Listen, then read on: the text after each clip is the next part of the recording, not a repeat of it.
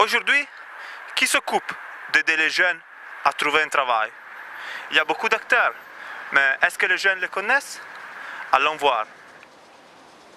Les jeunes sont, particulièrement touchés par le manque d'emploi car les entreprises ne font pas assez confiance aux jeunes car ils estiment qu'ils ont très peu d'expérience comparé à des, euh, à des adultes de plus de 30 ans et 35 ans. Euh, donc euh, je ressens de la par rapport aux jeunes que je suis, ils sont super, ils sont déçus du marché de l'emploi.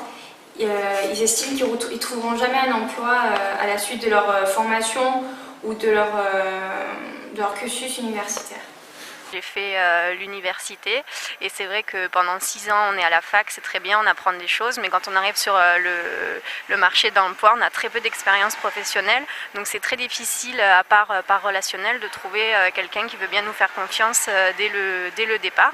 Donc voilà, moi je pousse les gens à faire des formations où il y a des stages régulièrement. Donc c'est vrai que les études c'est assez important. Après il y a une formule d'études qui je pense est la meilleure, c'est l'alternance parce qu'on continue à faire des études, mais on a, aussi un petit peu plus d'expérience au niveau professionnel. On acquiert un petit peu d'expérience. Euh, et euh, au niveau des, CV, ça fait souvent la différence avec quelqu'un qui n'a jamais travaillé. Donc je pense que c'est la meilleure formule aujourd'hui, l'alternance.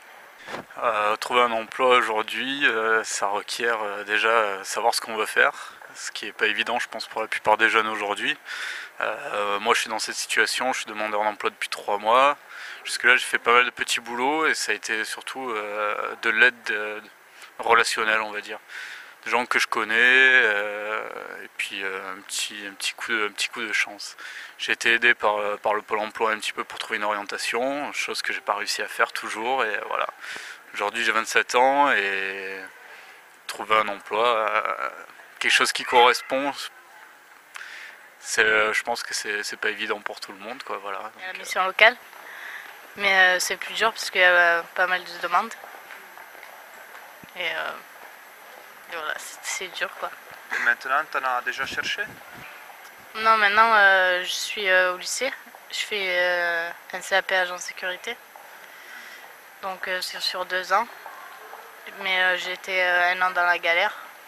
Donc après, je verrai ce que je fais. Je pense qu'il faudrait mettre en place une passerelle entre euh, l'université et le monde du travail, c'est-à-dire que euh, les entreprises devraient euh, être plus impliquées au sein des universités pour que les jeunes puissent savoir les métiers en rapport avec leur formation.